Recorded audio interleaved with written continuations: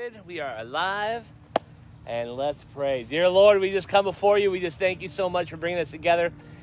And we ask that you just move today in the park. Lord, we thank you for your grace, Lord, and just uh, the fellowship that we could have. And we love you. Bless this morning in Jesus' name. Everyone said, Amen. Let's worship the Lord.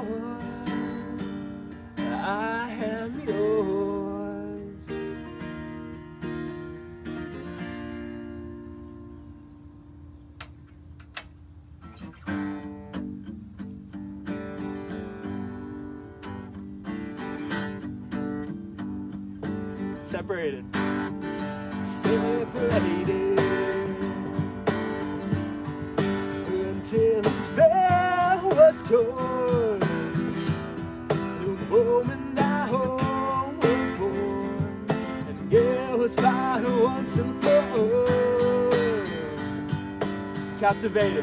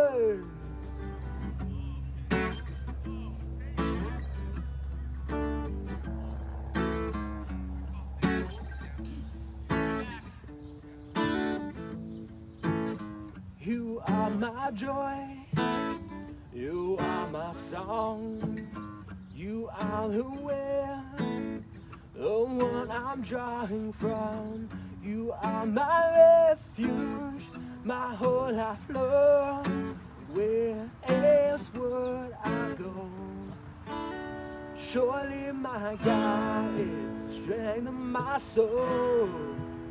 Your love defends me, your love defends me.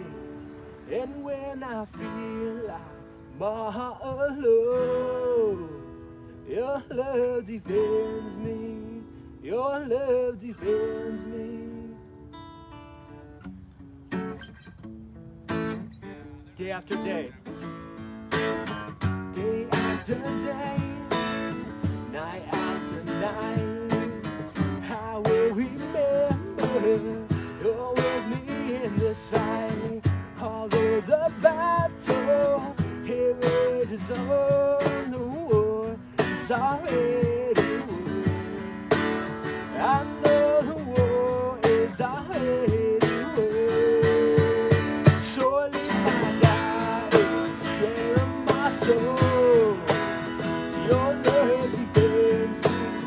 Yo le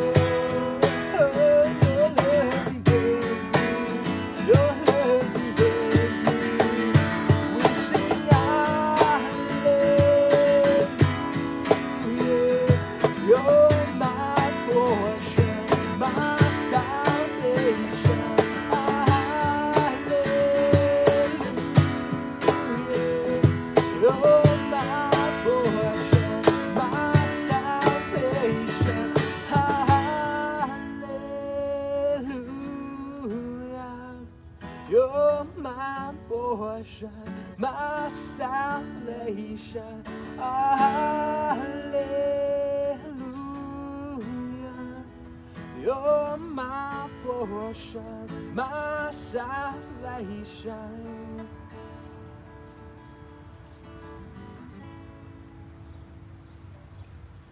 Dear Father, we just thank you for bringing us together today in your name, Lord. We just give this day over to you, Lord, and we pray, Father God, that you speak to us through the message today, Lord.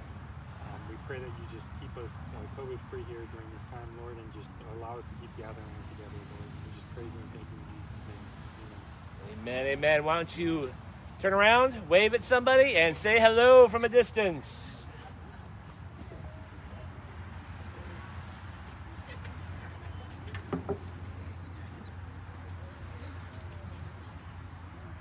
Oh, hold on.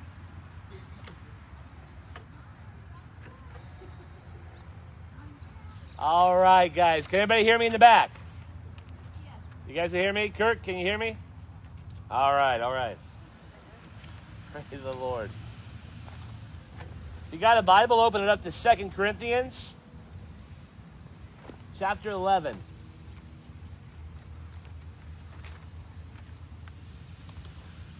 This morning, parking enforcement was here, and I thought the gig was up. I was a little nervous. I was like, oh, Lord. I said, I was prepping. I said, we're, we're t- just what the park wanted. Don't give us any hassles. We're doing everything by the rules. And they were towing a car. I didn't know that. I was praying, oh God. And Michael comes up out of his car and he goes, Hey guys, and he used to work with them. And I was like, Oh, and I reminded of that verse in Acts where Paul is talking and he's, or the Lord is talking to Paul. He says, Don't fear, Paul. I got many people in this city. And you know, that's a really cool thing. And, that, and it's on the front of our bulletins. We can't give out bulletins right now, but it is. And it's our uh, theme verse for our church that we have many people in this city. So let's be praying. We're blessed to be here, and I'm glad you guys are here today. You know, what a joy to fellowship with the saints. Amen? So let's pray and get started. Dear Lord, we ask that as we come together, that you would speak to our heart, that we would just grow in you, that we would fall more in love with you, Lord, and that we would be more in tune with you now than ever before. So speak now and teach us thr- through your word. In Jesus' name, amen. Amen. So, what's been going on? Let me get this closer.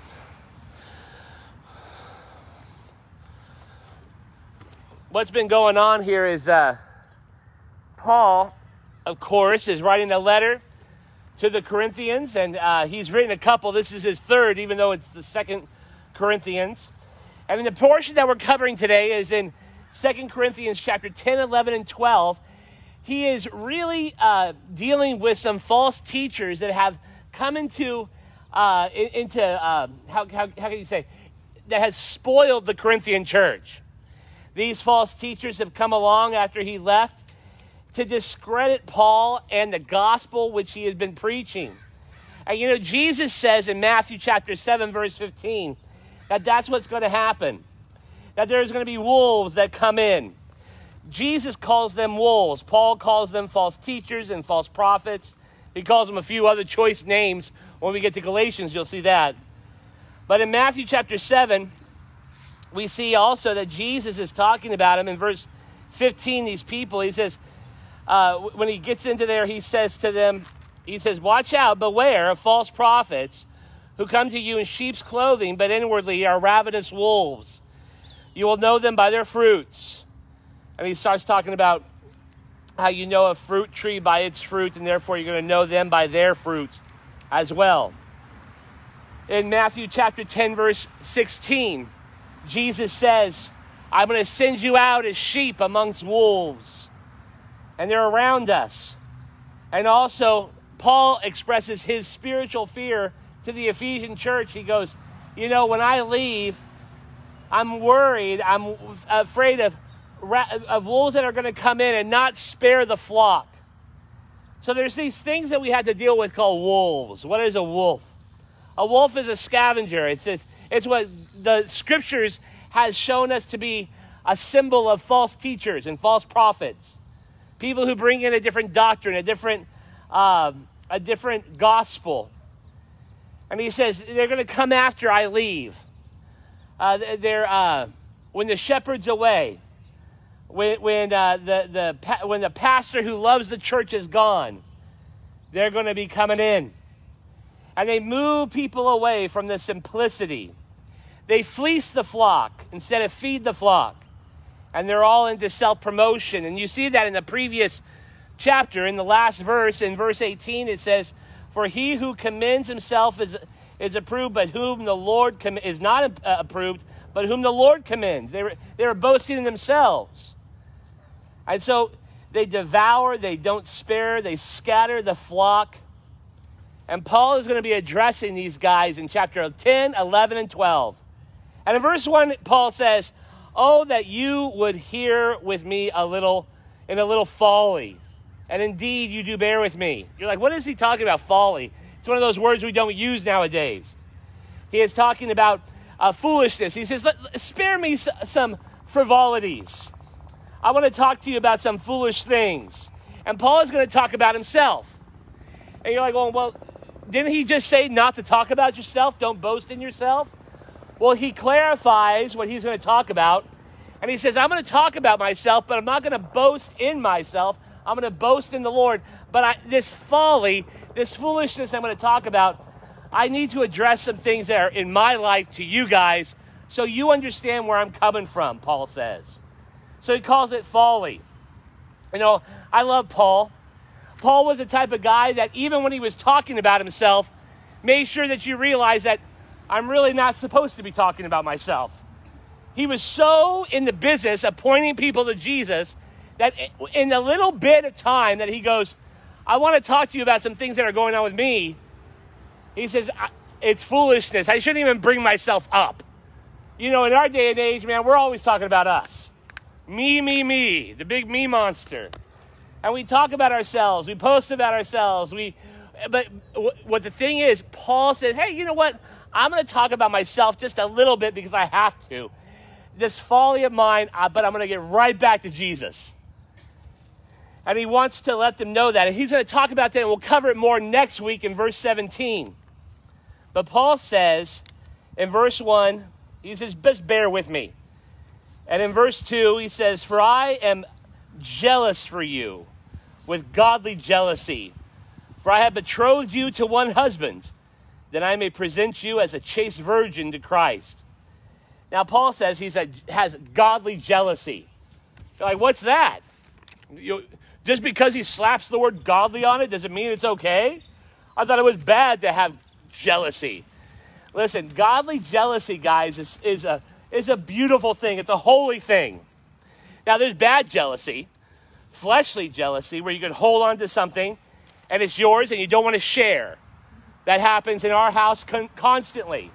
These are my Legos, my cookies, and that's just me talking. That's not my kids, that's me.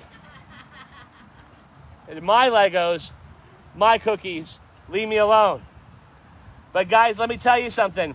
That's jealousy of the fleshly nature. But he says here there's godly jealousy and it's something that's pure and holy where you're holding on to something that is yours. God has a jealousy for us. Isn't that that's kind of nice? God looks at you as a Christian, he says, "You're mine." Isn't that nice? I like to belong to somebody. When Kelly says, "Hey, you're my husband." Nobody ever better look at you. I was like, "Don't worry, honey. No one is." But this is the deal. He says this it's godly jealousy. God wants you. He loves you. And he doesn't want you to share you with anybody. God doesn't want to share you with a false God. He doesn't even want to share you with yourself. He wants all of you. And God is like that with, Paul, with, with us. And Paul is like that with the Corinthian church.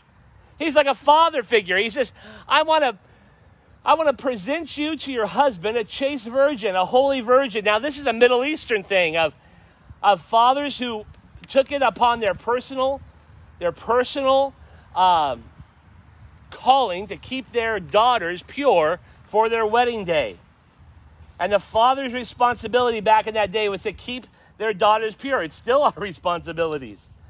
And the Lord does that with us, God the Father is calling out and he's saying, Hey, man, I want to present you to my son, a, a beautiful, chaste bride of the church. How sweet is that? And that's what he's calling. And Paul has the same heart. Isn't that lovely? Paul has that same heart where he says, I just want to present you to Jesus. I want to have that there. Paul is taking that pastoral responsibility seriously what a pastoral heart he has.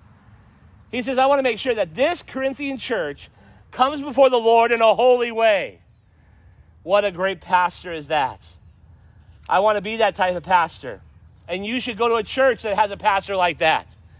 If there is ever a day where you move away, like the rest of California, or you go some other place, always find a person who wants to present you wholly unto the Lord, a chaste, beautiful bride of Christ. But notice his fear in verse 3. Paul has a spiritual fear. But I fear lest somehow, as the serpent deceived Eve by his craftiness, so your minds may be corrupted from the simplicity that is in Christ. Now, notice Paul's fear focus. It was not upon anything physical. Paul is not going, oh, who's going to pay the bills? Oh, who's going to do this? Oh, this sickness, this thing, the Romans, the Judaizers, this, that, or the other physical thing. It wasn't on physical thing. His fear and his concern was on a spiritual matter, the spiritual war, which we talked about a couple of weeks ago. It wasn't upon worldly things, but spiritual things. He was concerned about the work of the enemy at work in the church. He says, I fear lest the serpent deceived Eve, that he's going to do the same with you by craftiness, so that your minds may be corrupted from the simplicity in Christ. Satan is crafty. That doesn't mean that he has good craft skills, okay? It's a word that one time I used that with a person, he goes, what kind of crafts does Satan make? Is he into what? What meat? What? What is? Is he a pastels guy? Felt? What, what? No, it's not that type of craft. But you you could go there and do a whole sermon on that. The crafts of the glue that he uses. Anyway, oh, that's another Bible study for another time. But this is the thing, guys. Satan is crafty. That that word crafty, guys, means skillful. He's slick. You ever met somebody slick before? They usually inhabit car lots. They usually are lawyerly. You're like, are you saying they're car salesmen and lawyers are satanic? Not at all. But I'm saying, hey, we got an issue. But that's a whole other subject. But this is this is the thing, guys. Satan is crafty. He's skillful. He's slick. He knows what he's doing, just like he did with Eve. Remember the rules with Eve? God said, don't. He says, you could. What was the rule? Remember the rule, the big fat rule that, that was in the Garden of Eden with Eve and Adam? What was it? Number one, be fruitful and multiply. That's a great rule. And he says, Oh, and you can eat anything you want. But, a warning this tree over here, don't eat that tree. Well, why not? Because it will kill you. Oh, that's a good rule. That's a positive rule. But Satan was so crafty, he went in there, and what was the first thing out of his mouth? Did God really say that you shall surely die? Did God really say that? And he's crafty, and it says that after talking to the serpent, that Eve saw that the fruit was good to eat. It can make one wise, and it looked good. Pride it was the pride of life, the lust of the eyes, and the lust of the flesh, all rolled up into one big piece of fruit. And she ate it. Satan is skillful and slick concerning his craft. His goal is to corrupt. And I love that word corrupt here in the Greek. We think that the word corrupt is some word like it would, it would like a perversion. It's not. Or, or a, uh, a spoiling. It's not. It's the word corrupt means to slowly wither. To slowly wither. It's not a quick thing. It's a thing that happens over time. Satan is in the long game. He's not a quick, and he, he could, he's that good, but he prefers the slow burn. He prefers the slow corruption, the slow withering. There is nothing that Satan wants more than to wither the church, to make us less fruitful than we should be. I think, if you want my honest opinion, the whole lack of fellowship that we're having in the church today, across the nation, across the globe, really, the lack of the body of Christ coming together is part of his plan to corrupt the church, to make it slowly wither. And that's why we're here today in the park, obeying the law, six feet apart in our family groups, because we have that right. Thank God we have this. But there are others that, hey, listen, Satan wants us to wither. You're like, well, we're still in fellowship. But guys, fellowship is not just that connection we have, that koinonia in the spirit, through the blood, in the word, but it's that connection and that physical looking at your brothers and sisters in the face, being with each other. It's all part of it. And there are ways, and listen,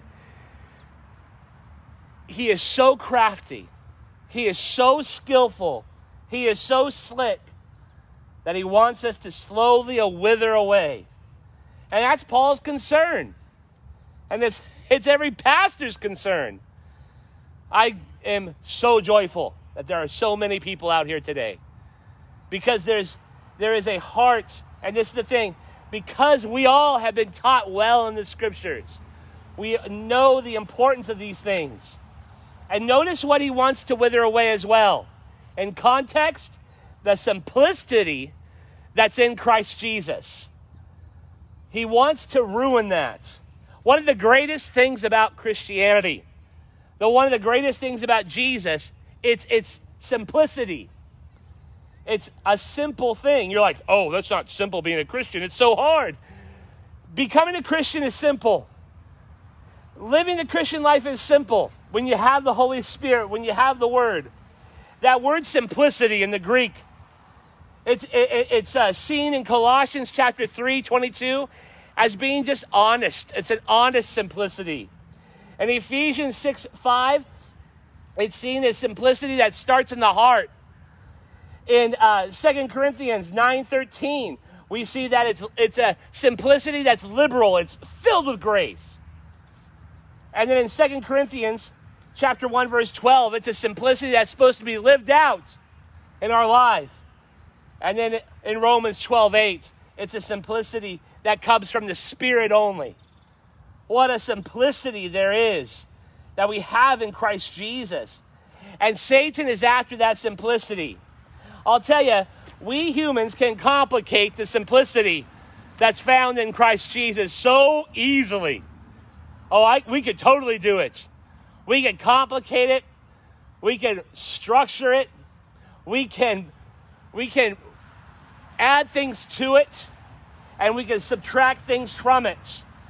We can complicate the simplicity so easily by flesh, compromise, and pride. I'll tell you, it's just, e- you know, what, the, what does the scripture say? How do you become a a born again Christian? It, it- believe on the Lord Jesus Christ, and thou shalt be saved. Amen? Pretty simple. John 3:16. For God so loved the world that he gave his only begotten Son, that whosoever believes in him should not perish but have everlasting life. Simple. Believe, have faith, receive the gift of grace. The gospel message. It's it's it's it's simple. It's not complicated. I don't have to crawl on my knees to the cross and say, "Oh, I have to do, I have to do." I, the only thing you have to do to become a Christian is surrender to Christ and believe in Him. Believe it all. And He loves you. He loves you so much. And He's calling out with simplicity. He doesn't want to make the way of everlasting life a complicated thing. He wants to make it easy because He loves you. And there's, but that's the one thing. There's only one way one way to God, and that's through Jesus Christ. And He loves you. It- to grow in the Lord is simple obedience and love and hope. These simple things. I, I love that the things of Jesus Christ are simple. Our spirituality is a simple faith. Now, some people might look at me and go, Well, Andrew, you're pretty stupid. Thank God it's simple, though, huh? And I will be the first one to admit, Amen. Amen. It's simple. I like things that are simple. I don't like complicated things. How much of a drag would it be if the Bible stated to us, you got to obey all these technical things? You got to make sure that you're circumcised. You got to make sure that you're obeying. Uh, you got to you got to tithe this amount. Oh, ridiculous! Ridiculous! It's by simple faith in what Jesus has done and receiving the grace. Confess that you're a sinner and He'll forgive you because He loves you. And that's how it is. Believe and you shall be saved. And so he makes it simple. And Satan wants to rip us off from the simplicity, the simplicity of God's word. When, he, when God says, I just want you to obey me, I just want you to obey me, God says. And then the flesh complicates the obedience. Simple obedience, simple faith, simple grace, simple faith. All of those simple things, they're for us.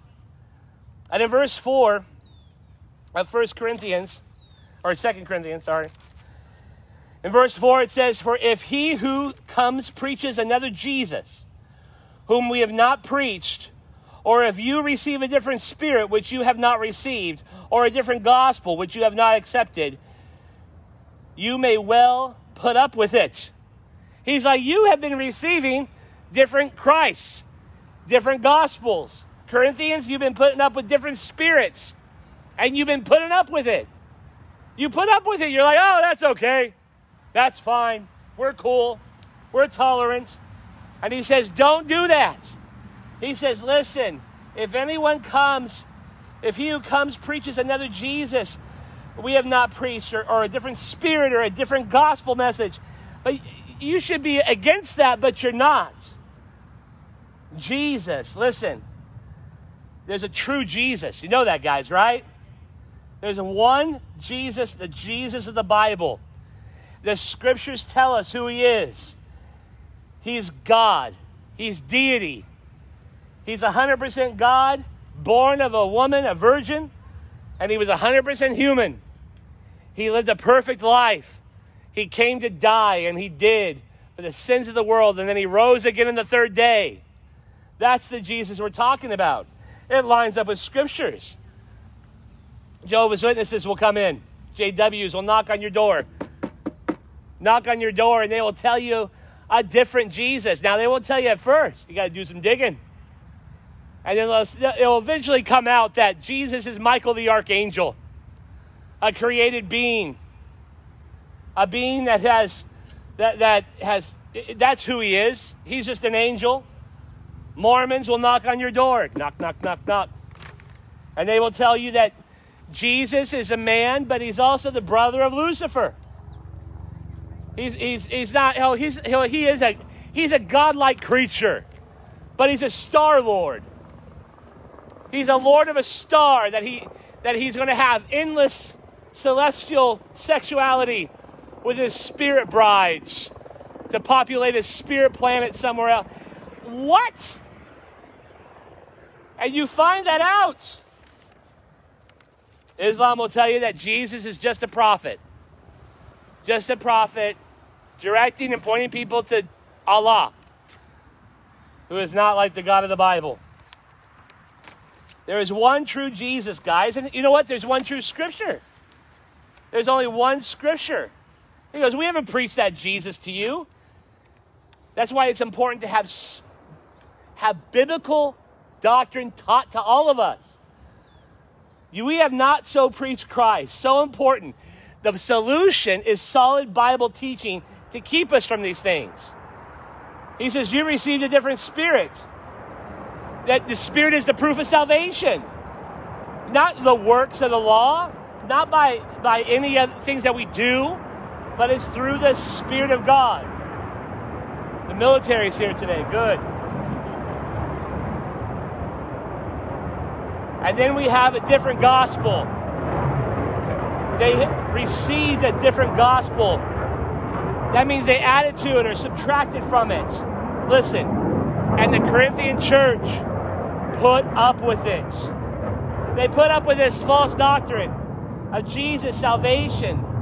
And you know, you can really tell what is a cult and what's not a cult because of what, if you really want to get down to it, guys, if you want to know if someone's of the Lord or not of the Lord, ask them who they think Jesus is. Who's Jesus? Who is Jesus to you? And you'll find out if it's a false religion, a cult, or some other variant belief.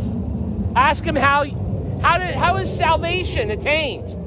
How do you get to where you're going in the afterlife? Ask them those things. That's why the Word of God is important. And he says, He's really coming down the Corinthians. You tolerate it.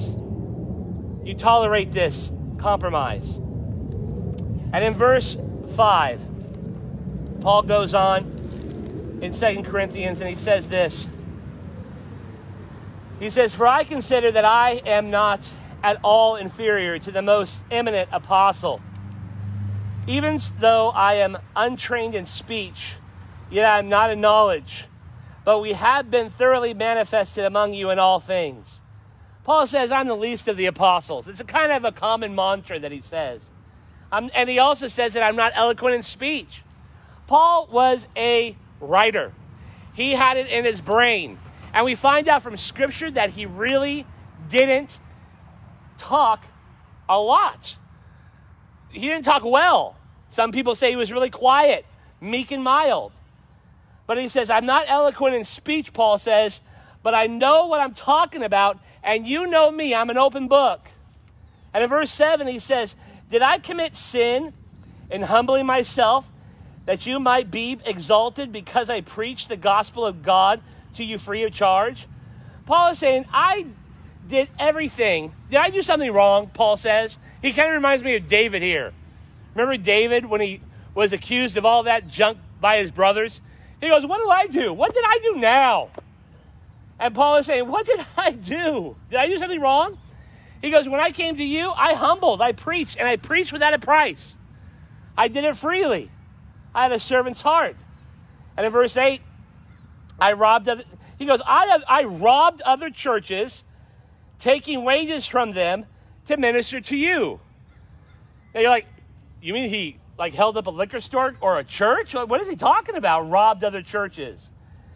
This means that he he received money from other churches in order for him to do the work of God in Corinth. Corinth was his mission field, and he received mission support from other churches. And he says, I robbed them in order to work with you. He didn't take a dime from the Corinthian church because he knew, because he was spirit led, that the Corinthians were going to hold that over his head if he did it. So he didn't take a dime from them. He just did it and he received gifts from other churches. And in verse 9, he says, And when I was present with you and in need, I was a burden to no one. For what I lacked, the brethren who came from Macedonia supplied, and in everything I kept myself from being burdensome to you, Corinthians, and so I will keep myself. I'm going to keep on doing that. And in verse 10, he says, As the truth of Christ is in me, no one shall stop me from this boasting in all the regions of Achaia. So he says, Hey, listen, the church knew Paul's, and he says, Why? Why do I do these things? In verse 11, because I do, because I do not love you, God knows. It's like a phrase like, no way. Why do I do these things? Because I hate your guts? No, I love you guys. That's why I'm doing this. His love for the church was evident. The church also knew Paul's love for them. There was no doubt that the Corinthians had in their hearts that Paul loved them and they loved Paul. No question of a pastor's love for them in their hearts. And you know, that's a real spiritual indicator in a body of Christ, where the sheep know that the pastor loves them, and the pastor knows that he's loving the sheep and that they're loved. I, the one thing that I want to be known at Calvary Chapel Long Beach is a loving fellowship, which we are. When people come and visit, I want them to know the love that, that you all have in their hearts for them that you have in your hearts for me, that I have for you. And get this, and more importantly, all of our love to Jesus Christ, and that and also know that his love for us rules supreme. I want it to be known, I want it to be written upon the doors of this place. Love, well, there's no doors, but hey, you know, a, a yard sign. Love is here. In verse 12, but what I do, I will also continue to do, that I may cut off the opportunity from those who desire an opportunity to be regarded just as we are and the things which we which they boast. He says, they want to falsely accuse me, and I'm not going to let them do that. I'm not going to take a thing. I'm not going to let them accuse me of being like them at all. And in verse 13 through 15, he says, For such are false apostles, wolves, deceitful workers, transforming themselves into apostles of Christ. And no wonder, for Satan himself transforms himself into an angel of light. Therefore, it is no great thing if his ministers also transform themselves into ministers of righteousness whose end will be according to their work. He is talking about these false apostles, these wolves in sheep's clothing. You could call them false apostles, false prophets, false teachers. And they transform themselves into angels of light, just like Satan. You know, Satan, we always think as someone with a with, with little horns on his head, a little tail, all red with a little pitchfork running around, poking us in the rear end. You know, some Looney Tunes character of, of, of Satan. Satan isn't like that, though. He's an angel of light. He's a glorious being. When we read Ezekiel in the Old Testament, when it talks about who Lucifer was, he, he, he was an angel of light. It says that his body was translucent, that when he moved, it made sounds, as it were, instruments. We think that he might have been even the worship leader of heaven. No wonder the world had such good music.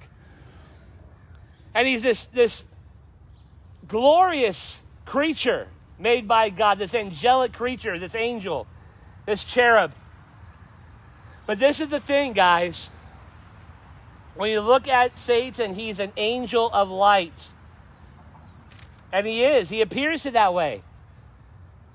Satan will never come at you with things that look, sound, taste, or feel bad.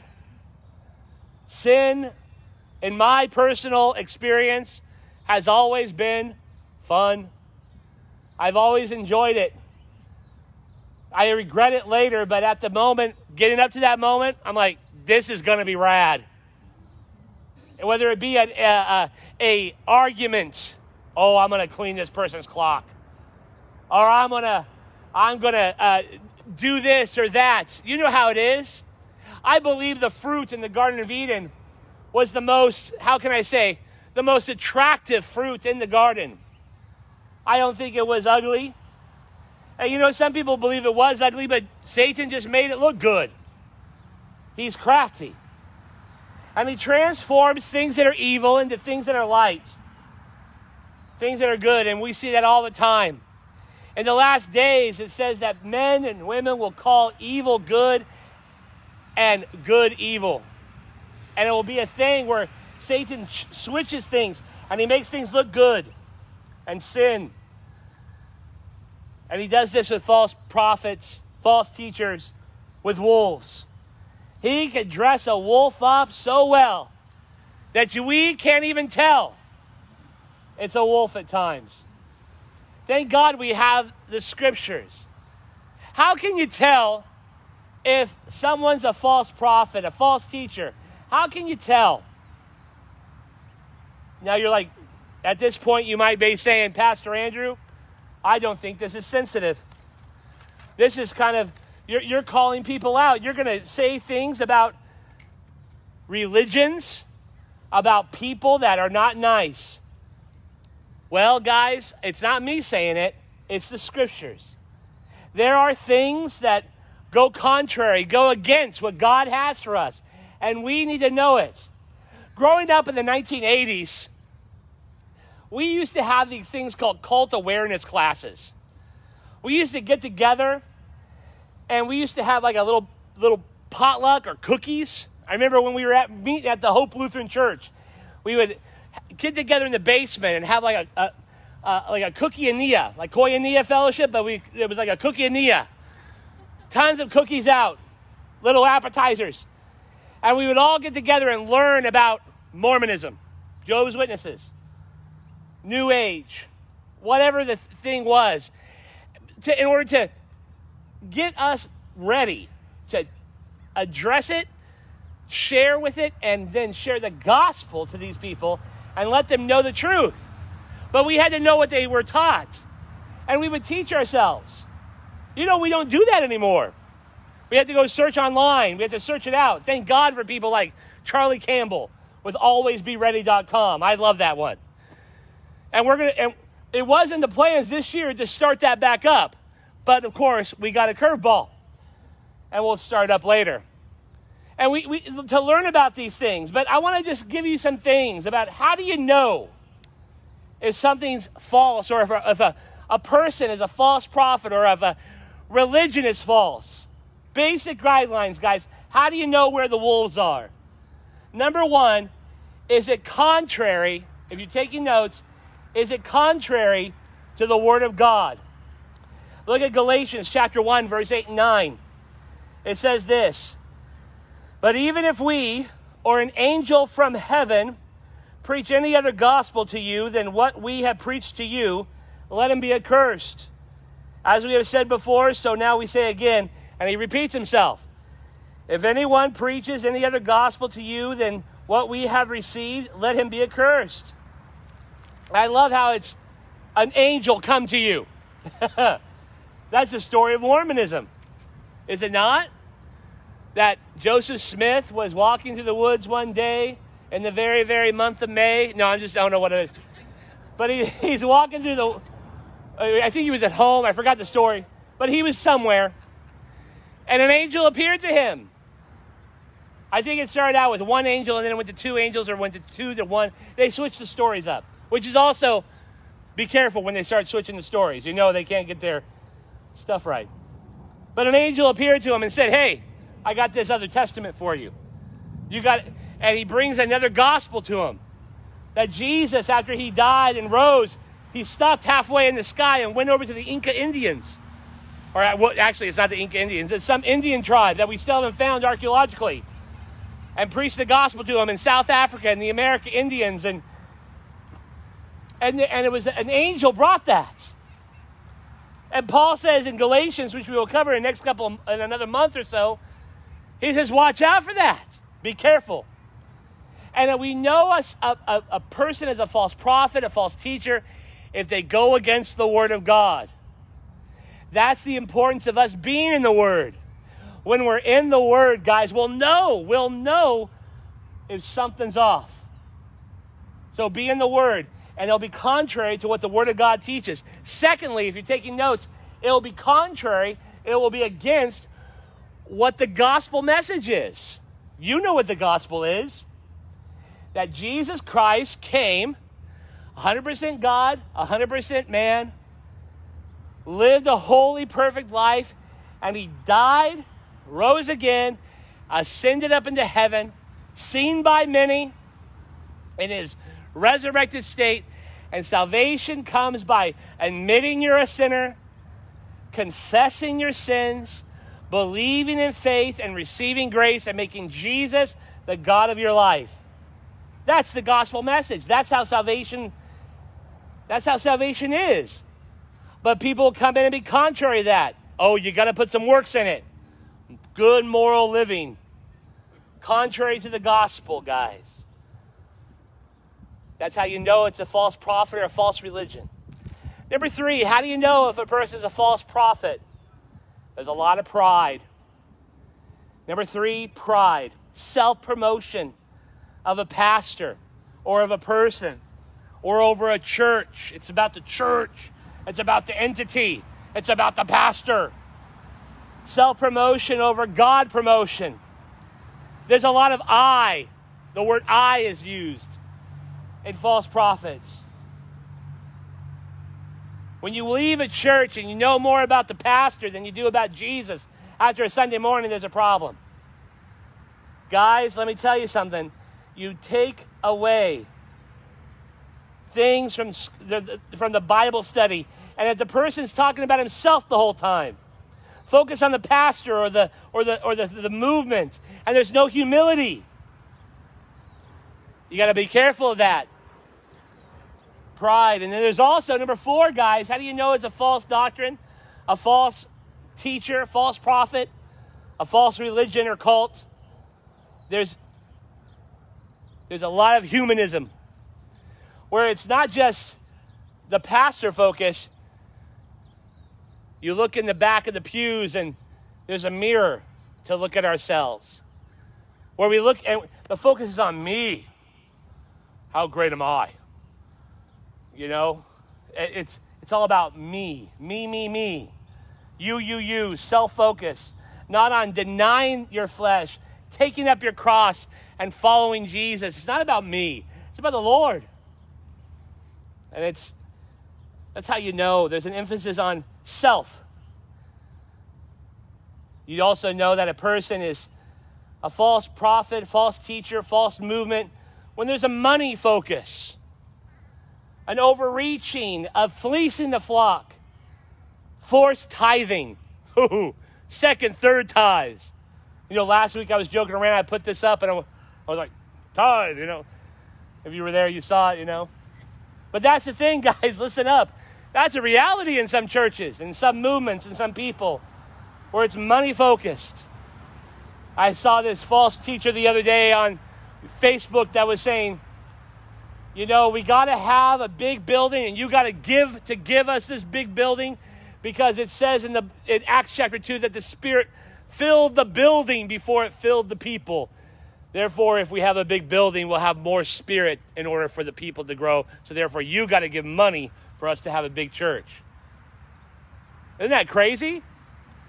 So, guys, we're gonna we're gonna put that into practice at Calvary Chapel Long. No, wouldn't it be horrible? That would be horrible. And there's a money focus. You know, I love when people, I don't love, it's actually a tragedy, but when people online are they, they, they start, they said, this ministry is not going to survive without you giving.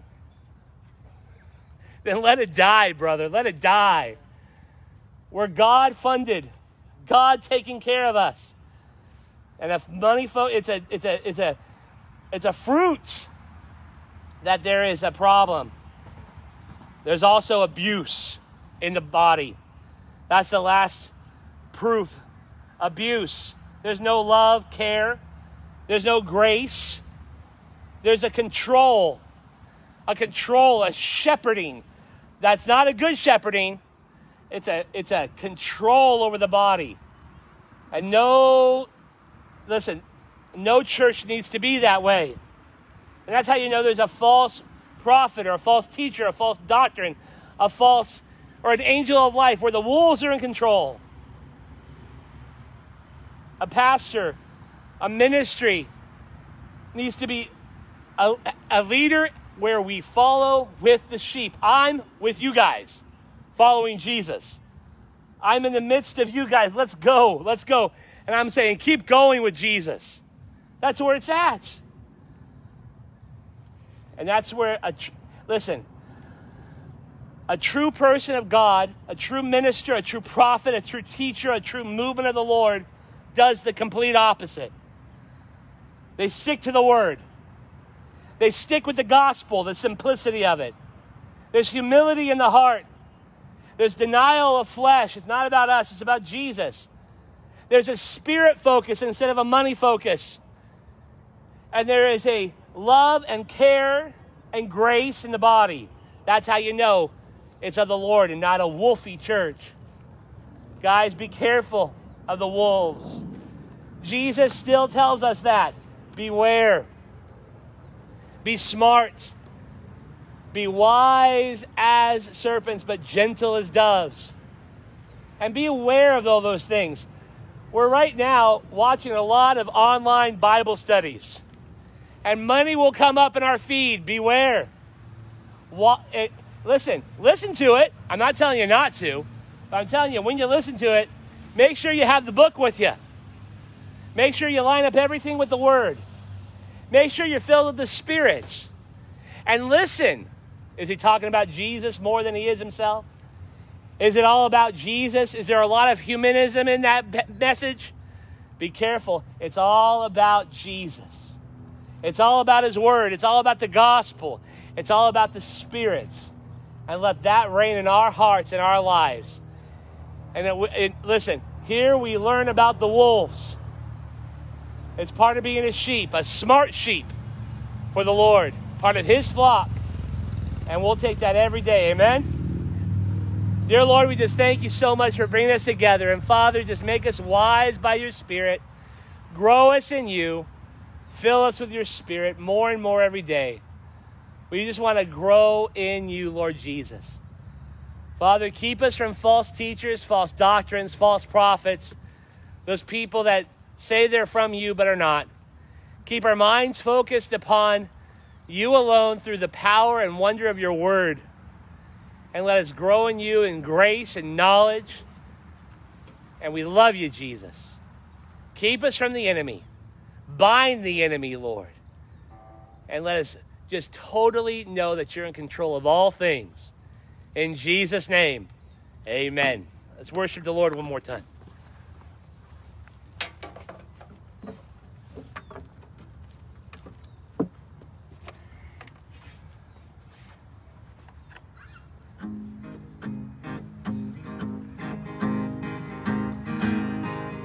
Breaks the power of sin and darkness?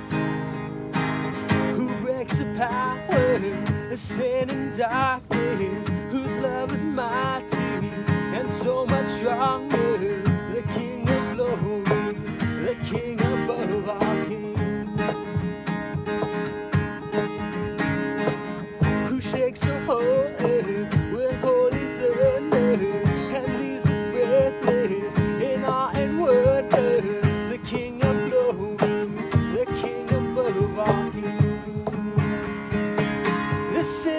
kings.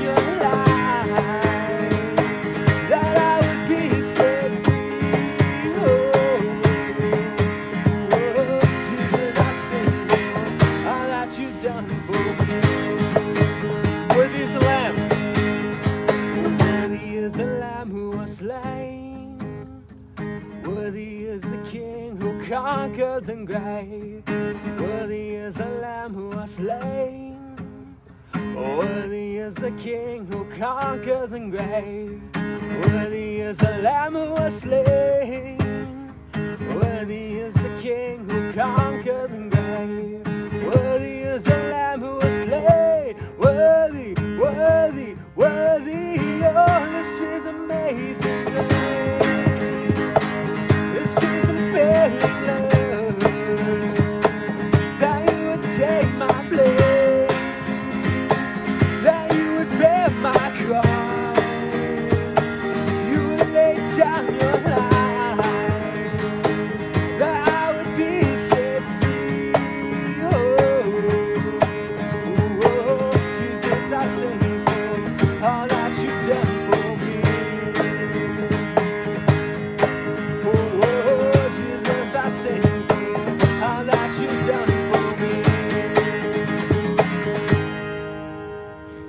Sunday. All right, guys. a Couple of announcements. Christopher, when's your surgery? Tuesday. So be praying for Christopher and his knee. He's having surgery on his knee. So be praying Tuesday for him. Sharon's doing better. She's uh, still in pain. Keep her in prayer. She just had hers. Uh, also, uh, Wednesday night Bible study is at my house. 3412 Woodruff Avenue, right across the street from the school. If you want to join us in our backyard, we're going to have a home Bible study uh, in Deuteronomy. It will be live streamed. We might be a little bit closer together, uh, but I didn't say that out loud. We'll delete that later. But so if you feel uncomfortable, just stay home and watch us online. But if you feel like you had that liberty, come on out, mask up, bring your lawn chair, and uh, um, we'll have Bible study, okay? Uh, that's it. And uh, God bless you guys. Be sensitive to one another, and Jesus loves you, and I love you too. God bless.